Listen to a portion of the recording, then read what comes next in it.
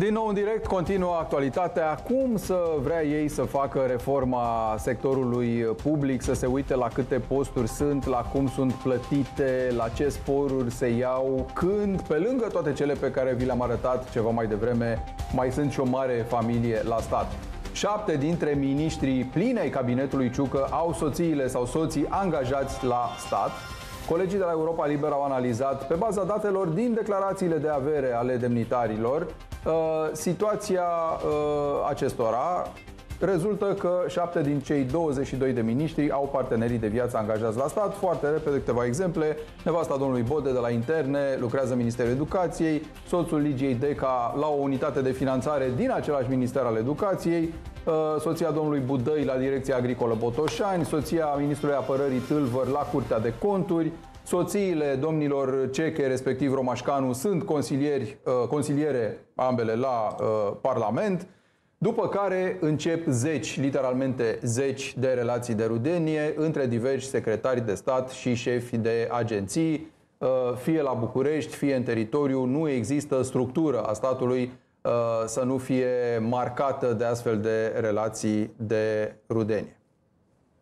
Na, ce să le faci oamenilor acum dacă și gândește-te că sunt doar cei de astăzi, care vor rămâne, soțiile de la Curtea de Conturi vor rămâne. Da. Se vor adăuga soțiile viitorilor miniștri. Miniștrii se schimbă, soțiile rămân. Rămân. E... Da. Iau și un exemplu fosta, la întâmplare. Fie, fie, fie că da. e fosta soție, fie că e actuala. Și, uh, scuză-mă, și mai adăugăm, mai numărăm, dacă am putea, dar nu avem timp, și foștii miniștri, cei care nu mai sunt, cei de anul trecut, de acum 2 ani, de acum 5 ani, soțiile au rămas, socrii au rămas, uh, nepoții, nepoatele, copii, doamna Dăncilă, domnul, pe cine vrei tu, copiii rămân, soțiile rămân în sistem.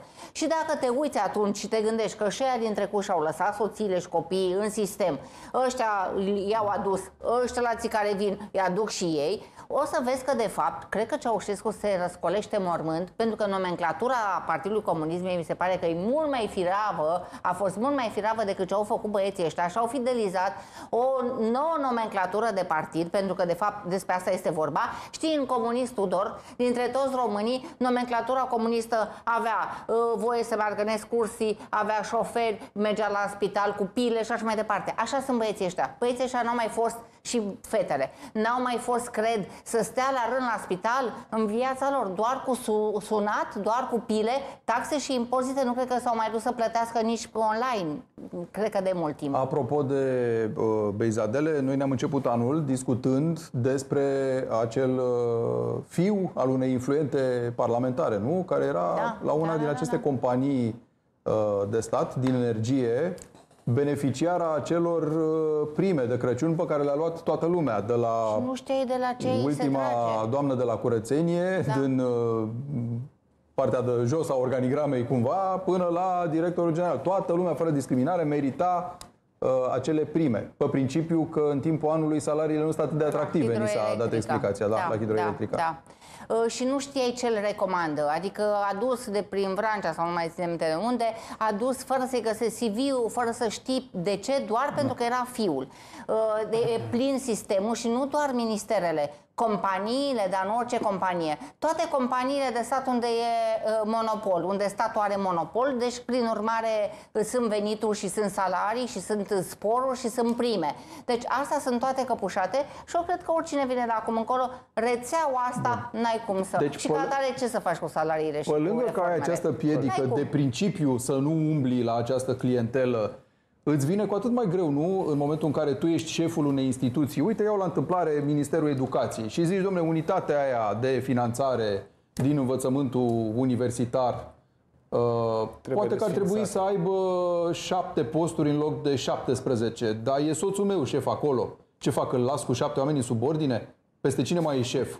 Sau poate unul din posturi uh, care trebuie desfințate chiar al lui? Păi mă mai ating eu în ansamblu de acea unitate în momentul în care știu că unul dintre cei dați afară ar trebui să fie soțul meu. Bine, bine. Și repet, e pur întâmplător exemplu, Vede, ipotetic. Vedeți că am avut uh, exemple de înalți demnitari de dreapta care nu lucraseră în privat niciodată sau n-au vrut să se discuta de antreprenoriat, dar n-au vrut să se nu știau să înființeze un SRL. Dacă trimitea la registrul comerțului, se pierdeau pe drum, pe găseai la trecerea de pietoni.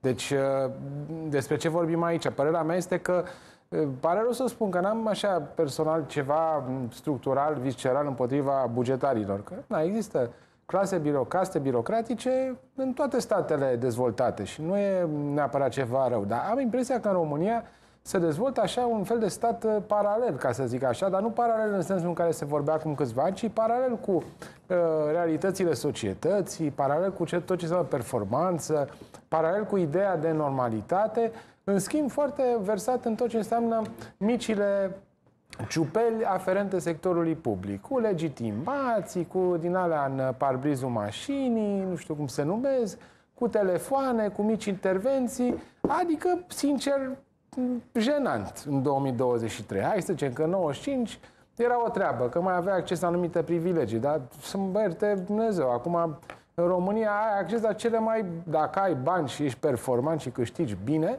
poți să ai acces la, acces la servicii foarte bune în sectorul privat, în toate domeniile, chiar și în domeniul sănătății. Nu mai ai nevoie să apelezi astfel de tehnici arhaice, dar se pare că cei din sectorul public sunt prea obișnuiți și nu pot să iasă efectiv din paradigma asta. Adică vreau și eu să văd un ministru care are, nu știu, în familie, niște oameni care sunt șefi de companii, care au construit niște povești de la zero, care inovează, care pleacă la Londra, la New York să prezinte proiecte. Adică Ori mai fi. Mai au săturare consiliar în... și am lucrat la Parlamentul României. În celelalte tot două treime la guvernului... Parlament, tot mici șupeli, învârteli cu metri. E jenant, adică pe bune. Nu, mi se pare că se, deja e nu mai are nicio legătură cu ce există în România și potențialul da. nostru ca țară. Domnule Ialomițeanu, avem motive să credem că e îngreunată sarcina acestor demnitari de a reforma instituțiile cu care lucrează în momentul în care rubedeniile sunt acolo, presupunând că ar vrea de la bun început să facă această reformă. Noi credem că nu, dar hai să zicem prin absurd care încerca să o facă. Dacă te lovești de un nepot, de soția unui coleg din guvern și el zice, băi, mai ușor cu instituția aia, că o conduce Bărbatul meu, ce facem? Din păcate, când se dorește o restructurare, pleacă oamenii buni. Pentru că aceia uh, care își fac treaba și au bun nu va apela la șef, ci vor rămâne cei care au fost aduși de uh, șefii de instituție. Acum, eu nu sunt împotriva unor uh, uh, soții sau copii care lucrează în instituțiile publice, dar nu în momentul în care ajungi pe funcție și mai ales să și avanseze. Eu, în momentul când am plecat uh, din uh, funcție de demnitar în 2016, mi-am asumat uh, răspunderea, am candidat la profesiile liberale și, sigur, am ajuns președintele Uniunii Profesiilor Liberale din România, profesii reglementate. M-au ales colegii, m-au respectat, m-am dus în sectorul privat. Iar nu, familia mea am lăsat-o la Brașov și lucrează în sectorul privat. Nu i-am adus la București, n-am umblat. Și am avut mai multă liniște, să știți. Deci colegii care fac lucruri de genul ăsta Corect. au mai multe probleme și trebuie să facă mai multe compromise. Mm. Greu, uh, urât este momentul în care îți uh, gândești pe o funcție uh, copiii sau soția sau soțul după caz, avansează și ocupă funcții foarte importante fără să aibă un merit. Și lucrul acesta deranjează și îți creează chiar o problemă, dacă mai ales în instituția respectivă sau ești dependent de alți colegi dacă lucrează la alte instituții. Da, e interesant aici că uh, sunt mai multe categorii, Silviu, cei care lucrau oricum la stat, să zicem, de mai multă vreme, dar mai sunt uh, soții sau soțiile sau rudele care au ajuns la București imediat ce uh, soții lor au fost numiți în funcții înalte sau cei care au primit un loc de muncă la stat, indiferent unde, la Botoșan, la București, la Galați, nu contează, după ce respectivele rude au ajuns demnitari. Și aici vii și te întrebi, te-a apucat dragul de lucrat la stat fix acum când soțul tău a devenit ministru? Sau a devenit șef de cancelarie la premier? Sau mai știu eu ce? Eu cred că dacă ar face cineva un audit, am afla că articolul ăla din legea pentru prevenirea faptelor de corupție 78 pe 2000, respectiv articolul 13, care l-a băgat la pușcărie pe domnul Dragnea, ar trebui aplicat în sute de astfel de cazuri. Pentru că, spre deose- pe lângă funcțiile politice unde au fost numiți acești oameni, acești oameni, eu sunt convins că ei au fost numiți și pe funcțiile unde ar fi trebuit să fie numiți pe concurs. Sau dacă nu pe, prin concurs, cu anunț public, cu înscriere, cu dosar, cu evaluare de dosar, cu examen, cu tot ce vreți, atunci prin, pe, pe criterii de competență, așa cum spune legea uh, privind salarizarea personalului bugetar uh, din 2017, dacă nu mă înșel. Deci, din punctul ăsta de vedere, este nu numai o bătaie de joc, dar este o ilegalitate de la cap la coadă și există legi care pot pedepsi astfel de situații. Eu nu zic să-i bage pe toți la pușcărie, că ar fi absurd, dar măcar să scăpăm de ei. Da? Ultima dată când am auzit de un concurs în instituții a fost acum șase luni, până atunci nu mai auzisem ani întregi cu niște concursuri la ANAF și la VăM și, în general, la structurile din subordinea Ministerului de Finanțe. Iată că e și domnul Ialovița. Pare că oamenii ăștia de la Finanțe, cu excepția domnului Căciu, își mai fac treaba din când în când. Bun, au fost examenele, a fost jale, m-am uitat, am și scris despre ele, că eram ziarist atunci, mă rog, lucram în presă, și uh, s-a luat cinci pe linie, adică cinci așa, cu, vârfurile au luat binișor, adică persoanele, probabil a fost rușine să, să le dea mai puțin de 50 de puncte, cum să, așa. În rest, jale, jale, jale, jale. Și domnul ministru are dreptate. Așa se întâmplă. La o astfel de restructurare pleacă exact cei care făceau treaba, da? Singurii care mai munceau, deci dintr-un birou de 10 persoane, șapte fracămenta, cum se spune pe românește, îmi cer scuze pentru discursul neacademic, și trei mai uh, dau cât de cât o direcție, mai fac niște lucruri pe acolo, așa, grosomodo, o apreciere grosomodo. Și știu chestia asta pentru că am și eu cunoscuți care lucrează la stat și bă, îmi povestesc cu foarte multă amărăciune ce se întâmplă de fapt. Da, ne-am lămurit de ce nu se va întâmpla mai nimic în legătură cu posturile de la stat. Ba, din potrivă, chiar cum începeam emisiunea spunându-vă că se urmărește uh, eliminarea acelui jalon care are legătură cu reforma posturilor de la stat, a salariilor de la stat, a sporurilor de la stat și mai ales ale acestei uh, clientele. Aș vrea să ne uităm un pic la ce face domnul uh, Bode. Uh, domnul Bode face în primul rând, ce știe domnia sa mai bine, se războiește prin instanțe uh, cu cei care i-au expus uh, plagiatul. Acum înțelegem că și-a schimbat domiciliu în București ca să continue uh, procesele la instanțe din capitală. Tot mută la diverse, mută și strămută, cum se zice în limbaj uh, juridic, uh, acest uh, caz, aceste spețe care privesc plagiatul domniei sale uh, pe la tot felul de instanțe, în speranța că cineva undeva îi va da câștig de cauză. Dar mai face și alte lucruri. După ce ieri l-ați văzut în poziția ghiocel în fața omologului austriac, care a venit încă o dată în România să ne mai dea o smetie să ne spună cât de nepregătiți suntem pentru Schengen. După ce tot în poziția ghiocel împreună cu colegul Ciucă au stat în ședința de coaliție, ascultându-l pe Ciolacu, cum perora acolo despre dezmățul bugetar, despre nevoia de uh, impozit progresiv, uh, supra-impozitarea bogaților de la stat, Domnul Bode s-a apucat să le dea lecții de valori și principii colegilor domniei sale din PNL, cărora le zice după cum urmează. Întărirea PNL nu trebuie să fie doar una organizatorică, ci și o întărire a crezului. Să facem o analiză pe text așa, ca la școală, despre ce predică domnul Bode uh, colegilor din partid. Deci cum e cu întărirea crezului când tu vii, în primul rând, și zici o să mă gândesc o să analizez Aș vrea să aud ce, dacă impune... ce ar spune brătienii despre aceste discursuri al lui Bode, juxtapunându-le cu povestea penibilă, jenantă de ieri, în care domnul Bode a stat frumos la încasare, când domnul austriac, domnul occidental, a venit exact cum a spus mai devreme. Și nu l-a contrazis la... cu nimic. Când nu l-a contrazis cu nimic, ba din potrivă. Ai da. de ce bine că am dezghețat relațiile. Și a confirmat tot ce a spus ăla, deși erau multe neadevăruri. Da, și e bine și sper să fie bine. Exact adică el speră să fie bine. Asta, cam asta e nivelul. Hai care să, să continuăm. Se aici zice domnul Bode, adică aici în, frumos, în PNL, sunteți uh, respectați și valorizați. Nu tolerați și supuși. Să dăm declarația anterioară că acolo e, uh, e și acolo e miezul. Peste tot e miezul în ce spune domnul Bode. Câtă vreme știm cine suntem și ce valori avem, asta mi se pare chiar foarte grea, cântecele de sirenă ale unuia sau altuia dintre competitori, chiar și aliați la guvernare, nu trebuie să vă farmece. Aici asta... aluzia era cu primarii care să lasă să se duci de PSD și să păi duc... Cred că tot uh, discursul se referă da. la asta.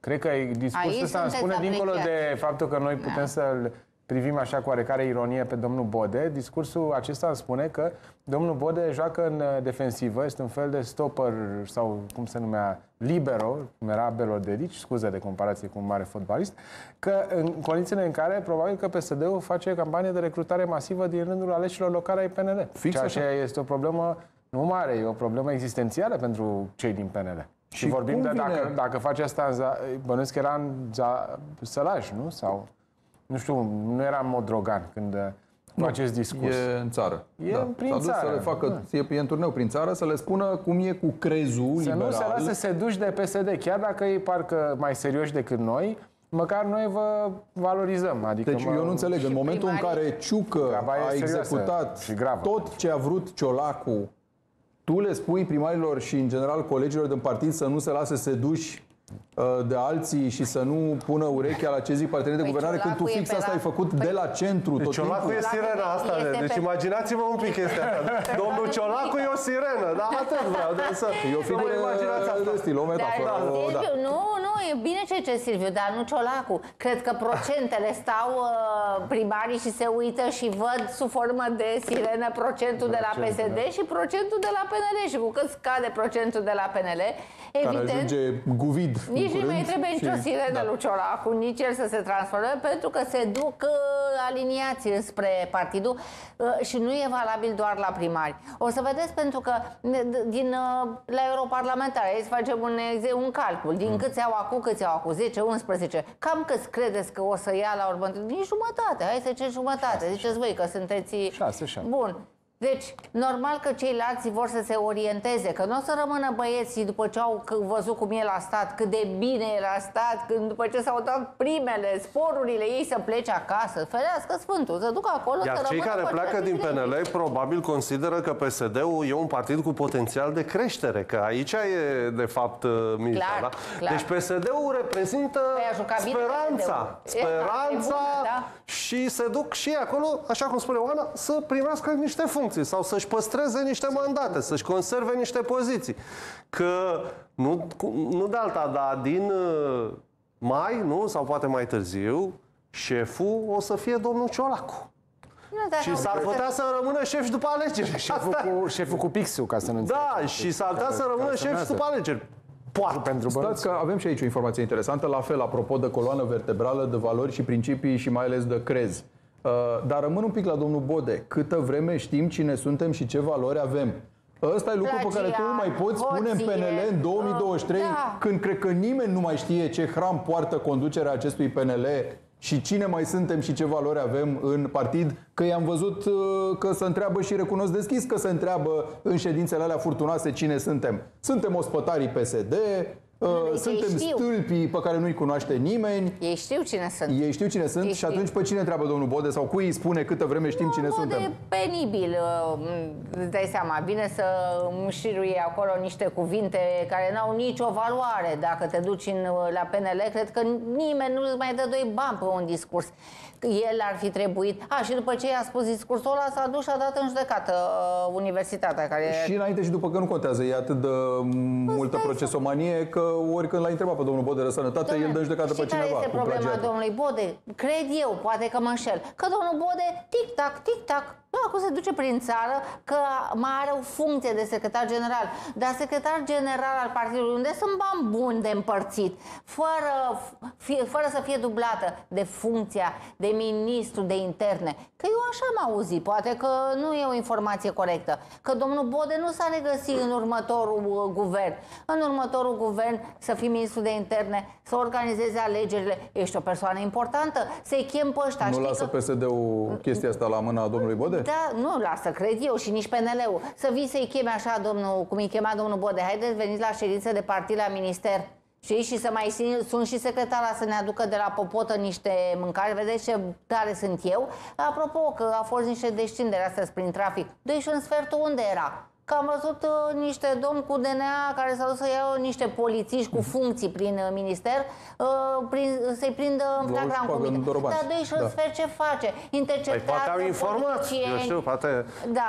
Ar trebui să scrie pe comunicat cum scria pe vremuri, da? Dosar, tocmit cu sprijinul, da? Da. Domnule Ianu Mițeanu, uh, politica în PNL, zice domnul Bode, nu e concurs de frumusețe și de primit în oglindă, e muncă de echipă, solidaritate, dar și cu votul de blam dat de echipă celor care se poziționează ostentativ în afara ei. Păi nu tocmai domnul Bode în situația asta că și-a luat vot de blam de la cei colegi din partid care urlau cu ospătarii și cu stâlpii și cu brelocul uh, la buzunarul din spate al PSD? Nu domnul uh, Bode e acuzat că a rupt total legătura cu teritoriul și că totul se decide mai la centru și filialele sunt ignorate? Așa spun cei din teritoriu că nu se poate comunica cu secretarul general, deși secre- secretarul general ar trebui, sigur, dacă e posibil 24 din 24 de ore să e, discute cu cei din teritoriu.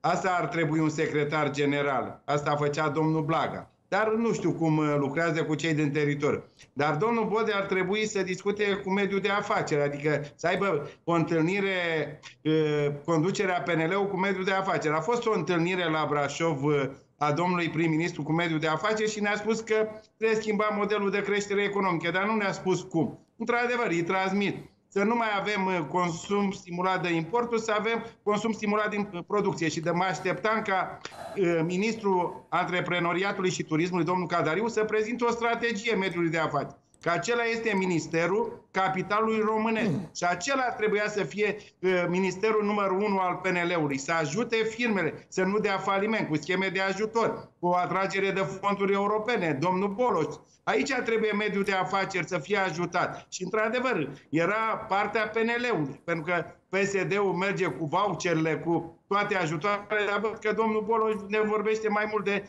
vouchere și de ajutor social, în loc să ne spună cum atragem fonduri europene pentru a ajuta economia. Aici două ministere foarte importante, dar nu funcționează. Mediul de afaceri e foarte supărat. O duce din ce în Da. ce mai greu. Și, E- într-adevăr, PNL-ul ar fi avut un cuvânt de spus și o zonă foarte importantă. Dar am impresia că a pierdut și mediul de afaceri, din păcate. Păi, apropo de cuvânt Probabil până de în spus, 2020 eu... îl poate recâștiga. Da, uite și informația de care vorbeam. Domnul Ciucă, aflat tot la Gorj cu domnul Bode, zice că nu exclude varianta să fie vicepremier în cabinetul Ciolacu. Asta apropo de uh, verticalitate, coloană Ți-aduce aminte, vertebrală, Tudor, că discutam la tine în fermitate emisiune, și așa mai discutam că departe. Da. domnul Ciucă nu prea e confortabil cu președinția Senatului. Am vorbit la un moment dat. Zice că analizează și această opțiune, Păi- cum o analizează și pe aia, cu impozitarea progresivă. Toate lucrurile care sunt linii roșii de netrecut, domnul Ciucă se pare că le analizează. Pentru el nu e o problemă. Asta cu vicepremier, da, să zicem că mai vrea să joace un rol. El își dorește foarte mult Ministerul Apărării. Vrea să se întoarcă acolo. Eu am această informație, am și spus-o. El vrea să se întoarcă acolo pentru că el la fie- meseria lui. Nu? Să Aia- fie subalternul lui Ciolacu Da, și în sigur, guvern, nu doar vrea în pentru uh, el, viața de zi cu zi. Personal, pentru că pentru partid ar fi un cost, nu? De ce îl El face? pentru Este el, nu, indiferent de eu, cost în planurile pentru domniei partid. sale, eu așa știu. S-ar putea să Și nu fie nici așa, eu dar... știu la fel, dar ce mai știu eu și poate că îmi confirm dacă știi și tu, că ăia care au mai rămas prin partid, prin PNL și care mai gândesc, își dau seama că e costul mult prea mare și refuză să aprobe o astfel de variantă. Uh, Eu vroiam să spun în legătură cu declarația domnului Bode, dincolo de retorica pe care am analizat aici și care, desigur, uh, are mari probleme, uh, că e, e o mutare interesantă. În momentul de față, dacă suntem uh, foarte pragmatici și analizăm lucrurile la rece, uh, sunt două partide, da? Este partidul PNL Iohannis Ciucă, dacă vreți, și PNL-ul celor care nu sunt mulțumiți de ce s-a întâmplat în ultima vreme sub conducerea domnului Ciucă și, mă rog, uh, cu, uh, uh, cum să-i spunem, acordul, acceptul la la domnului președinte, da? Coordonarea. Cu, sub coordonarea domnului președinte, exact, super.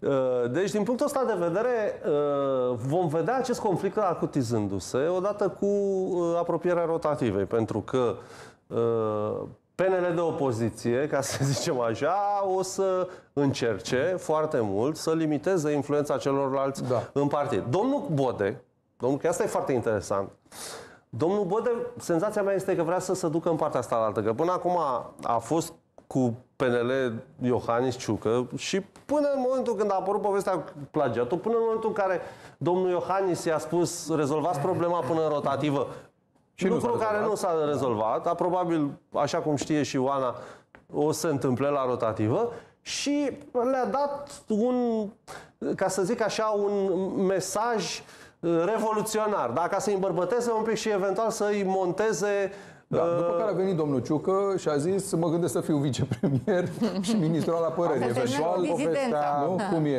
Alex Coita? Nu știu, Trage mi se mă pare așa, puțin o, o peretă. Adică nu, nici nu știi ce să iei în serios. Discutam de două zile uh, la televizor de povestea cu impozitarea salariilor mai mare decât cea a președintelui, care avea un oarecare sens în mediul public, un oarecare sens, uh, dar dacă ne referim la mediul privat e total absurd, adică este Eugen Ionescu cu, cu Kafka, e un fel de duet. Unul, unul la mână. Acum, povestea cu domnul Ciucă, vă dați seama, deci prim- premierul României, care este uh, omul numărul 4 după ordinea de pregătire în stat, dar probabil că numărul 2 după președinte în, în funcție de importanța funcției reală, nu are un plan de carieră. Adică nu are un plan și a avut timp să se gândească la povestea asta de un an jumătate. Adică De când un a an semnat jumătate. protocolul în care Adică- pleca de la guvernare în mai 2023. Și ceea ce pe mine personal mă îngrijorează că domnul Ciucă, pe lângă faptul că e vremelnic în fruntea uh, guvernului, este și uh, în fruntea PNL-ului. Deci avem un lider de partid uh, care nu are plan de carieră. Înseamnă că avem un partid care nu are un plan. Apropo de identitatea lor ca urmași ai brătienilor, apropo domnul Bode, dacă nu mă înșel, vine din zona PDL, care nu prea cred că avea legătură cu brătienii. Avea legătură cu, nu cu știu, doamna Udrea. cu doamna Udrea, cu domnul Băsescu, cu domnul Blaga. Deci, uh, povestea, povestea este foarte complexă, iar chestiunea cu vicepremier ar fi o idee foarte bună dacă n-ar fi o prostie, îmi pare rău să zic asta, pentru că să fii vicepremier în Guvernul României e o chestiune mai mult onorifică decât uh, în condițiile în care na, nu ai în pix decât în cel mai bun caz Sunt coordonarea curios unor ce zice ministere. Rareș Bogdan, care se propunea singur de ideea asta, Bine, dar o să-l Rareș întrebăm Bogdan, sau o să ne atenție, facă el uh, europarlamentar cunoscută pentru părerea. domnul Rareș Da. Bogdan ar fi, o- poate ar fi o, un lucru bun, da, pentru actualul premier nu prea văd cum Să ar vezi putea bătaie mare cine să iasă fie bine. vicepremierul lui Ciolacu. Asta- Revenim asta în cred că câteva o să fie, momente. da. Îi mulțumesc domnului Alomițeanu. Ne întoarcem uh, cu o discuție despre ce se întâmplă în spitale și acolo lucruri foarte grave. Rămâneți cu noi.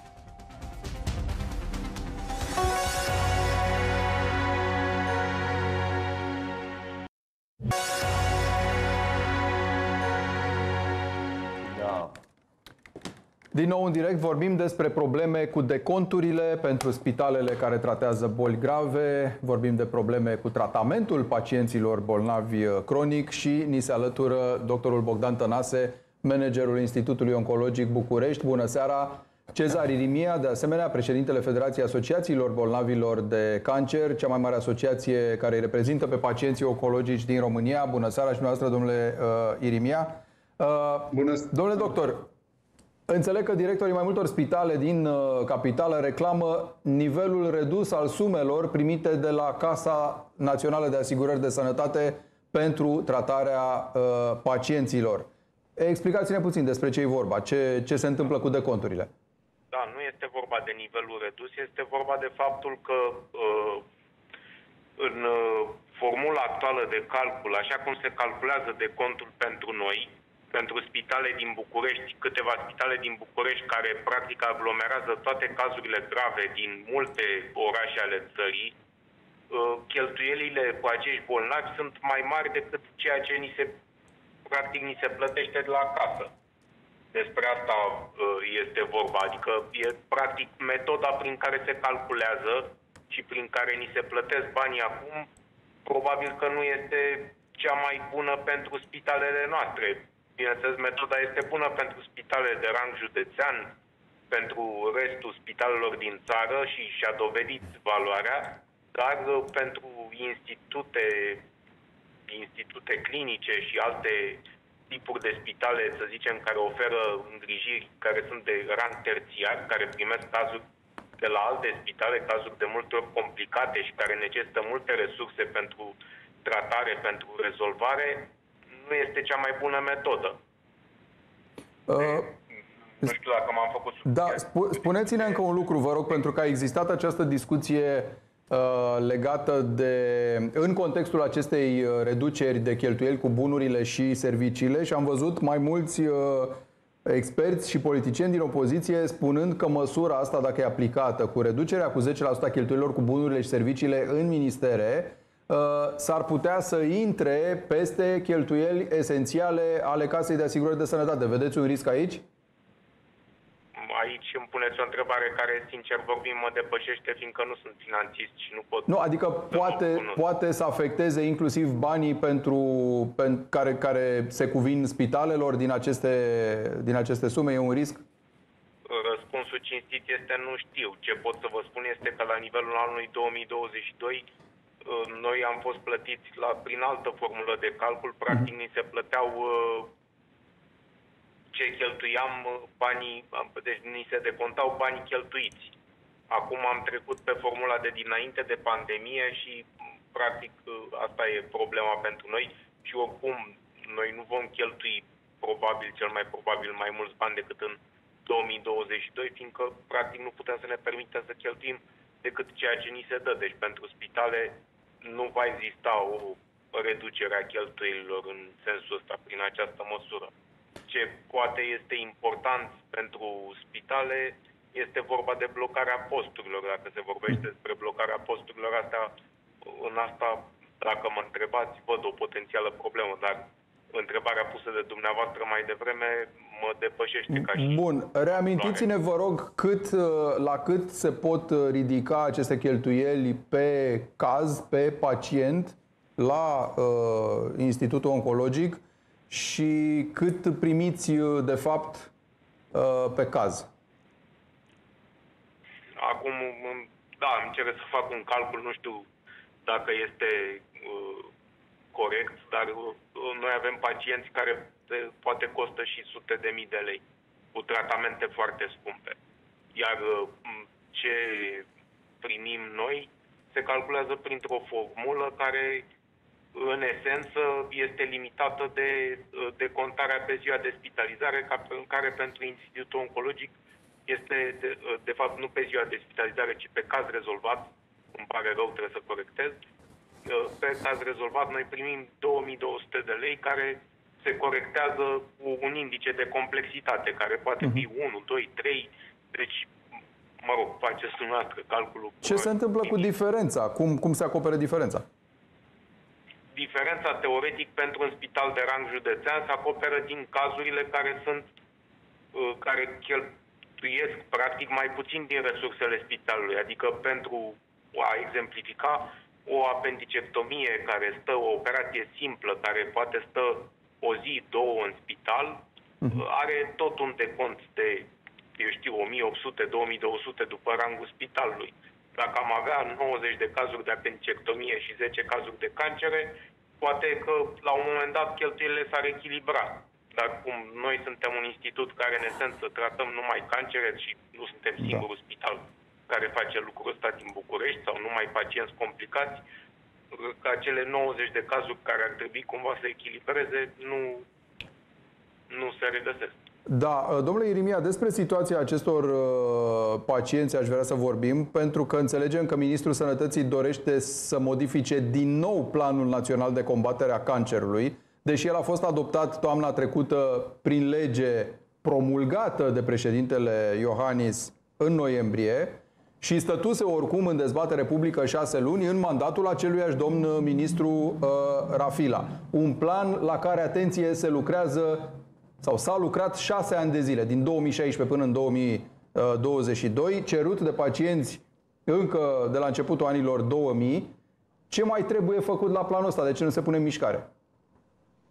Uh, planul ar fi trebuit uh, implementat uh, și trebuiau scrise normele de către Ministerul Sănătății, iar ceea ce pretinde domnul ministru că acest plan are lacune sau, mă rog, este incomplet, Uh, consider că nu are dreptate, deoarece la scrierea acestui plan a avut reprezentanții din Ministerul Sănătății care au semnat la final acest plan, așa cum ați amintit și să planul a fost în, pus în transparență jumătate de ani înainte de promulgare, iar acum faptul că domnul ministru nu a reușit să se mobilizeze, să scrie acele norme de implementare a planului, uh, caută tot felul de motive pentru a nu implementa acest plan.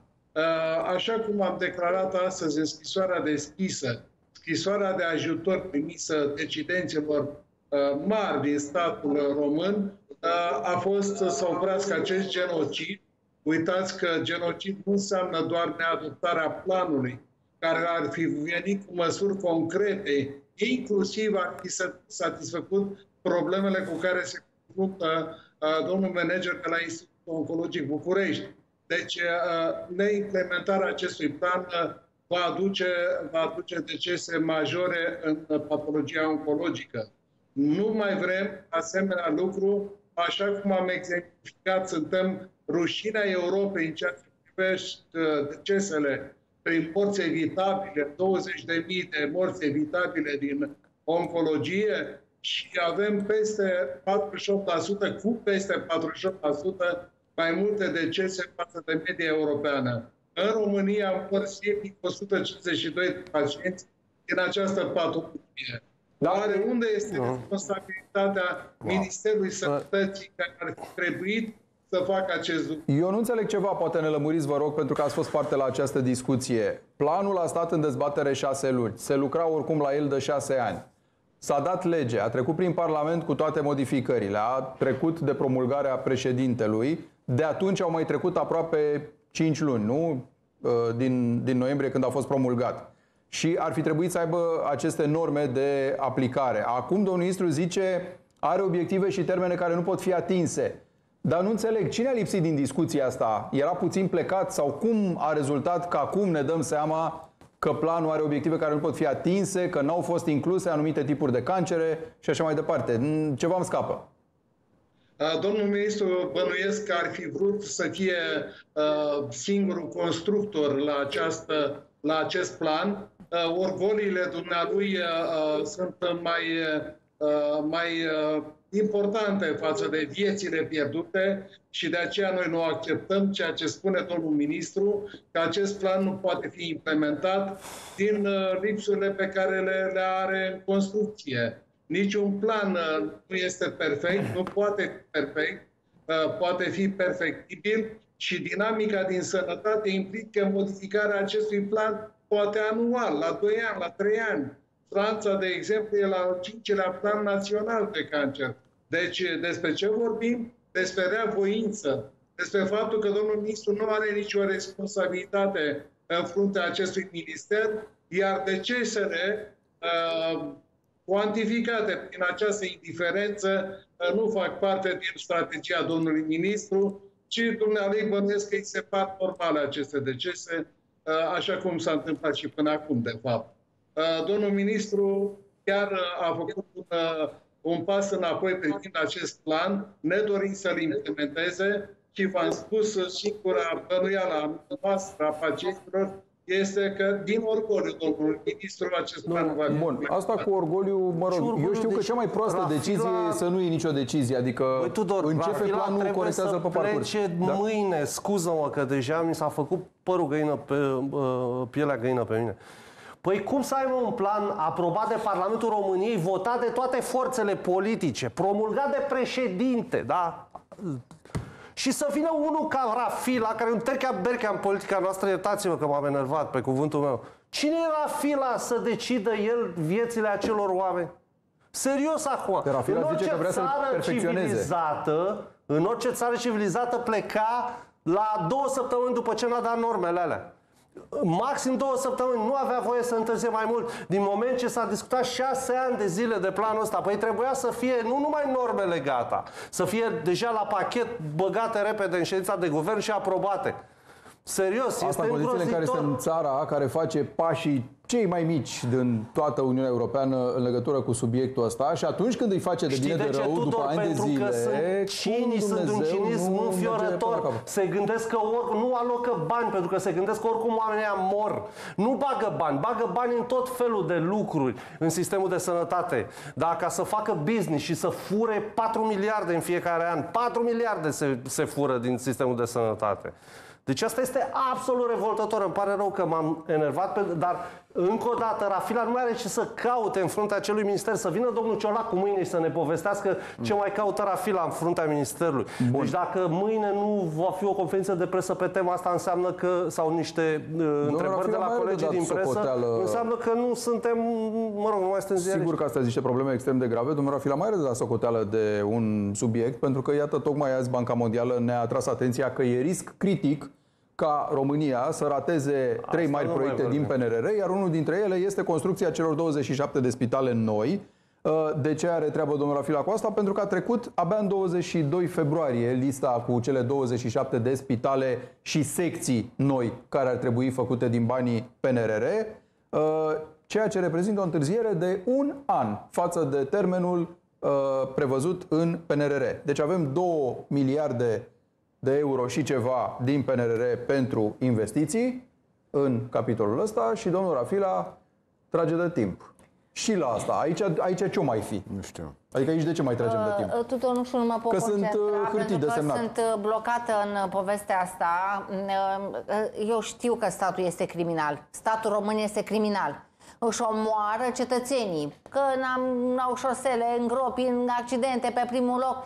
Dar să știi că un institut oncologic uh, funcționează ca orice spital județean. Și tu știi că ești din sistem și spune domnul doctor, păi noi în București că așa este, în lipsa acelor spitale regionale, vine săracul bolnav oncologic și de la Craiova și de la Târgu Jiu și din Moldova, vin săraci la București în speranța că vor fi salvați. Și tu îi dai îi decontezi la fel ca unui spital județean unde, în care nu are cazuri grave și îi dai 2000 de lei pe pacient. Păi și tu cum te numești? Dacă nu criminal. Dacă tu nu, nu mai avem nicio urmă de umanitate, dar ce stat este acela care nu pune preț pe viața unui cetățean? Sunt copii bolnavi de cancer. După ce că ai acest ghinion să fii bolnav, știi că mor pentru că statul român te lasă și te abandonează? Cât despre Deci asta construcția mi de se pare ceva spitale, revoltător. cum să spun, lasă că mai vin uh, niște femei întreprinzătoare din mediul privat și mai fac ele un spital din E- bani uh, privați, nu? Așa cum tocmai s-a întâmplat Mi-e în greu România anul ăsta. Mi-e greu să comentez uh, așa cu convingere din mai multe motive. În primul rând, cifrele pe care le-am auzit mai devreme uh, privind uh, mortalitatea de cancer raportat la numărul de cazuri uh, care puteau fi salv- de oameni care puteau fi salvați și raportat la media europeană sunt absolut cumplite. Adică asta, într-adevăr, arată faptul că statul român este un stat falimentar. Îmi cer care ar scuze, trebui un să pacient nu a primit trei luni de zile tratament din cauza hățișurilor birocratice și au fost, a fost caz în România. Deci trei luni de zile n-a primit nicio pastilă. Deci nici nu, Adică- știu, nici nu știu care ar putea fi soluția. Că nu știu dacă, ok, poate Rafila pleacă, nu pleacă, să plece. De ce nu? Dar întrebarea este dacă va schimba asta ceva. Părerea mea este că sistemul este în esență, este efectiv uh, un, un sistem aflat în necroză avansată. Sistemul de sănătate din România, nu știu dacă ține de Rafila sau nu și fiecare poveste care... Adică nici De Rafila nu și am de cuvinte. funcționarii lui De din minister, cine ăia să plătiți țină? cu sporurile și salariile de care noi am discutat adică Asta e și o chestie discutăm de punctuală, luni încă și o dată. Asta e o chestie... Nu, Și uite cum se până închid la aici reforme lucrurile. sistemice... Când ăștia să își arată ineficiența. Până la reforme sistemice, asta e o chestie punctuală. Avem o lege, există o lege, trebuie făcute niște norme rapid și trebuie implementat. Pentru că, cu siguranță, oamenii care lucrează în sistemul sanitar se pot replia rapid să-l implementeze și să mai încerce să salveze ceva. De... Deci asta, asta Tudor, asta mai stăm arată, noi un pic să ne mai asta pierdem niște arată, hârtii. asta arată, știi, Da. în momentul, c- după modul în care ai grijă de cei aflați în astfel de situații, te poți defini tu ca țară, ca stat, înțelegi?